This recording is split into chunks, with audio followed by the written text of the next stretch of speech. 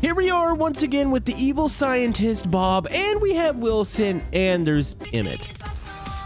And well, Bob can explain what's going on here. You see, there is a certain flavor of Mountain Dew that Bob really likes that is no longer available, and they're doing an illegal trade of this said Mountain Dew. Hopefully the police don't come in and bust them. By the way, Bob's out of money, so he can't actually pay for this Mountain Dew, so you know what? Everything is truly awesome. Uh-oh. Oh no, it's the 5-0. They're coming to bust Bob. Uh, Bob, you better get in the car. Uh, Wilson, here, let's close the trunk. Oh, okay, well, that kind of worked. Uh, here, we'll just attach Wilson to the car. Bob, you better get out of here. All right, bye, losers. Bob is out of here. Yeah, buddy. Well, nothing can stop Bob now. He's got all the mountain. Okay, there was a police barrier there. Uh, oh, geez. Um, well, we have a bit of an issue here. It's okay. I don't think Bob poses a threat now. I think Bob's going to jail. And also, please hit the thumbs up button. That way we can bail Bob out of jail. So, you were probably amazed by the ability that the police had to take down Bob there. Well, we're to do a bit of experimenting here today with said police stopping measures. So, we got our cool cop cars back here. We have a couple uh, sheriff's department here. They actually come with some really cool, like, uh, bulletproof vests. Do these things actually work or... Hold on. What the... What is the point of these? I mean, was it a little less than leaf? Oh, dear. Um... Oh... Oh, you have to hit there. Okay, well, it it somewhat works. I mean, the first bullet made it. Through Oh. Okay, well, it's okay. Let's just throw these over here. This is not about the, uh, the actual humans here. This is about the police cars. So I was trying to think of, like, different methods and different ways to upgrade these things. They've got the nice little bull bar on here. But what if we were to make like somewhat of a police grabber? Now I spawned in, which I think this is like a tuk tuk or something. This thing's useless. I need to actually spawn in a car because I want to see if we can actually uh, maybe stop the wheels here. So I guess there's another question. Can you blow out tires in this game? Uh, let's get the shotgun. Okay, there is no tire damage, so we're going to need a different method to stop it. So if we were to build something that goes under the car whenever the police car catches, can we find a way to stop it? I mean, a simple spike might do the trick, or we could just load spikes up on the front of the cop car. I'm not really sure if that's a, a really good option either, but uh, we're going to experiment here.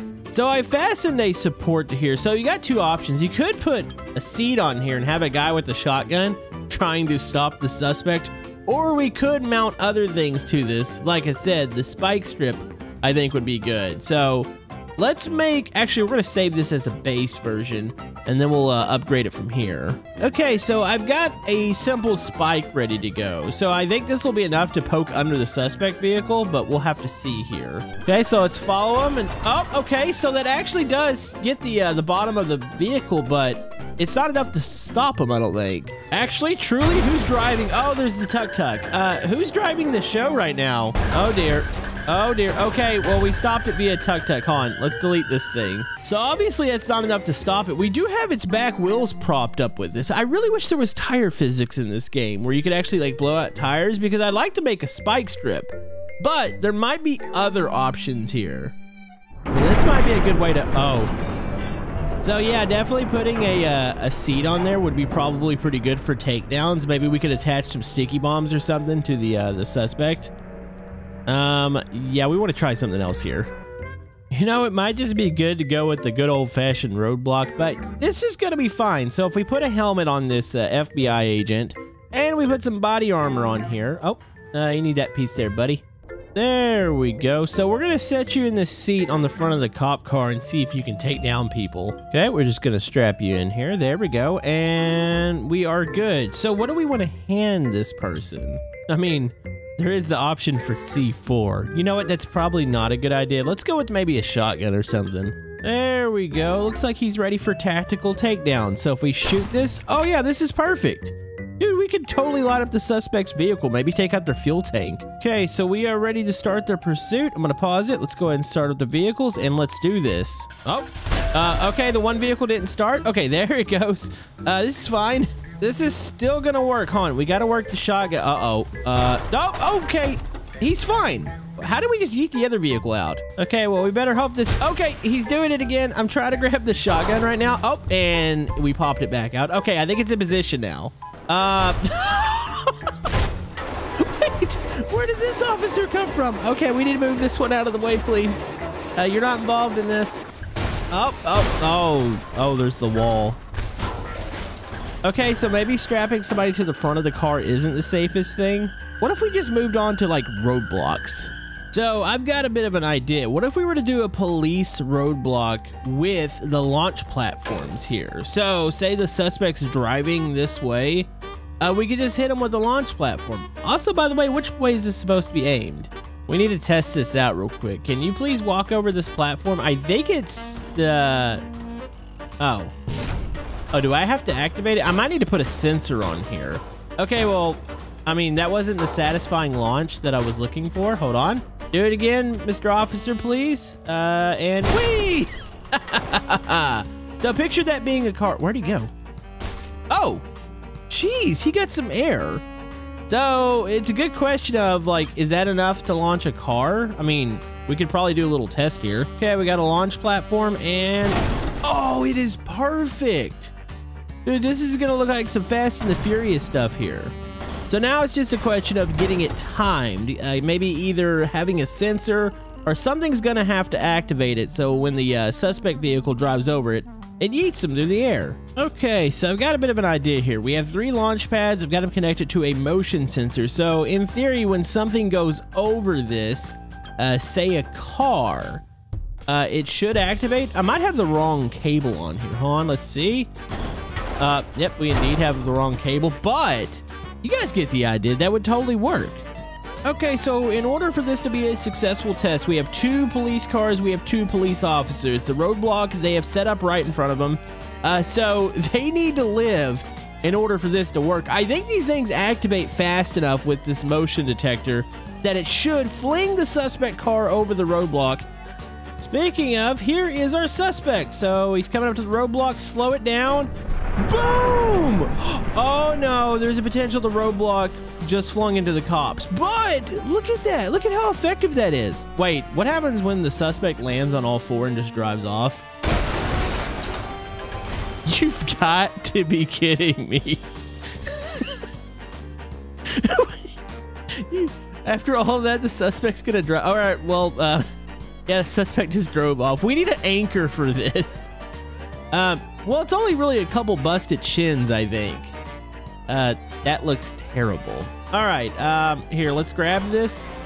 So we could either add a weight to it, because anchoring it to the ground, I mean, that's kind of cheating. Maybe we can do it with natural weight. Let's grab a weight real quick.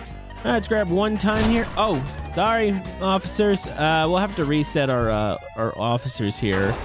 So let's add some weight to it. So we'll add these, connect it to it. Hopefully it'll be enough to keep it down. We probably want to distribute the weight to the other side too, but I don't want to block the path. Maybe this is enough. Either that or we just made a huge battering ram to crush the police officers. I'm not really sure. Not gonna lie, I'm still in awe that the uh, the suspect was able to drive away from that. Um, all right, so we have the weights. I mean, we could attach it to the ground. That'd be the cheating way but let's see if the weight helps. Boom. Okay, so the weight, whoa, it sent it like straight up and we saved the officers. We have created an effective roadblock here in People Playground that only kills the suspect. I mean, it's really not what we care about, right? The suspect, they were doing bad stuff and they were running and uh-oh. No, dude, okay. Wait, did we just create something that's an endless loop? Okay, well, you guys did not see that over there. The only problem I'm running into with these roadblocks is the whole fact that, well, they don't actually stop the suspect vehicle. They flip it over and it comes back at them. I mean, there's a such thing as landmines. I feel like that's excessive force, is it not? I mean, says the person that just flung a uh, suspect vehicle about 100 feet through the sky. You know, I got something called the spike bomb, too. Wouldn't these, like, spike the tires? You know, I feel like those might be a little bit more effective. Can I actually activate those with the motion sensor is the question. So if we have spike bombs, and then we might have to create like a little metal barrier for the police officers behind it. Okay, so here's a question. Is there a delay on the uh, the old spike bombs here, or are they instant? I'm hoping they're instant. So you got good old Bob walking here. Hopefully they can also be activated via wire. I'm thinking they can be. Okay, Bob, you need to shove your head down in there, please. Oh. Oh, oh no, there is a delay on these. Uh-oh. Well, this is gonna be beautiful. Wait, we're in slow-mo. How big is the... What just happened? uh, okay, so these things are really laggy. It said it shot out a thousand spikes. And as you can see, we have completely frozen here. What do you think Bob's thinking right now? Well, actually, you know, this is probably going to be painless. Oh, dear. Okay, so... Wait. That feels like that would stop a vehicle, right? Did it... It shot him up. Wait. There is a potential... Look at the damage it did to the vehicle. Okay, I got a crazy theory here. Oh, it knocked the engine out. Okay, let me test something. So there's a potential we can make this work. I think it fires the spikes up. So if we were to aim the grenade this way and then have a motion sensor aimed also to the left, so it would probably pick it up in enough time, uh, depending on if we can actually adjust the motion sensor, it might actually be able to pick it up, which it's going to block it a little bit, but that beam goes a decent bit. Can I adjust the beam? Oh yeah, we could set the range to this. So if I go to maybe 15, let's go apply. Look how far that shoots over. So the suspect vehicle would hit the beam well ahead of the grenade or its little timer that it has for it to go off. Okay, let's do another little test here. Let's move the sensor. Uh, let's place a vehicle and a person here. Let's make sure that the uh, the spikes go up because I think they go up and maybe out, but they shouldn't go behind, right? Let's go slow-mo. Let's go click. Oh, this is going to be epic. I have never seen this thing before. All right, waiting for it. Waiting for it. Oh, that sound. Uh, okay. Oh! Okay, so there are certain spikes that go back, but most of them go to the left and go up. So I still think you would want to create a protective barrier for the cops. Folks, I can feel it in my bones. This is the uh, this is the way here. So here, let's create this. And then what we're gonna do, let's go ahead and let's add our motion detector. We'll set its range to 15. So we're gonna hook these two together. There we go. And then it's also gonna spawn in a metal barrier. I need a bulletproof barrier. Actually, a big metal wall would probably work. Here, let's do the bulletproof sheets. I think three would be fine. So the cops would be fine behind this thing. So let's go boom. We'll attach these. We'll secure these all together. And we'll see if it actually protects the police. This might be more effective than my last one, and I'm happy about that. Okay, I think we're ready to go. We got our vehicle set up over here. Let's go ahead and activate it. So here's the question. Do you guys think that it's going to have enough time uh, to actually go off and save uh, the officers here. So let's go boom. Let's do this in slow-mo. You can see where it is. Okay, here we go. We are in range now. Is it going to go off in enough time? Uh-oh. Oh, no! Oh, we just conked the officer. What's the timing on this thing? Okay. Oh, it wasn't far off. And look, it yeeted it back. Dude. If that thing was closer, okay, maybe we need to adjust it to maybe like 25 on the range. Uh, definitely the suspect, I think, is down in there. Uh, also, there is spikes raining from the sky. Okay, here we go. One more attempt. All right, it is in range. I set it to 35 here, so I'm thinking the timing might be good. No! Why is the timing still so off? Uh-oh. Oh, look at that. It's going to hit it in air and fling it. You know, to be fair, it actually... Well, you know, I think the explosion... All right, the cop's still gone. We need to find a better solution for that. But it bounced the suspect vehicle back and then exploded it, and it shot its engine out. And as you can see, uh, the suspect is... Uh, we'll call it incapacitated right now. So we've got one more test. Obviously, a steamroller would be pretty devastating to the police and their roadblocks. Oh, dear. Wait, it's actually stopping it pretty good. I bet you if this thing had a little more momentum, like it would totally crush everything. Wonder if we could stop the old steamroller with the spike grenade.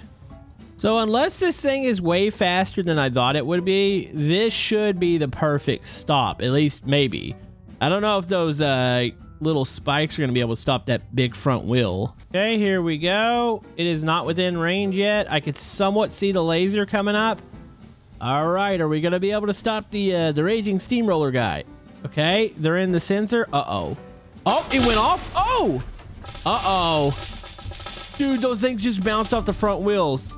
Uh, so Mr. Steamroller just drives right over it. So, not made for heavy vehicles. Look how protected he is right now. They're just bouncing off the roof. I mean, the big, I guess you could say metal barrier to protect the police would probably stop them, but the spike grenade seems to only work on normal cars. So here's a question. What if we throw a spike grenade in there with him? Goodbye, Bob. Oh, dear. This is gonna... Oh, dear. That's probably gonna be really bad once it unfreezes. Not really sure what we learned here today. We learned that Camodo is not really effective at making barriers. Oh.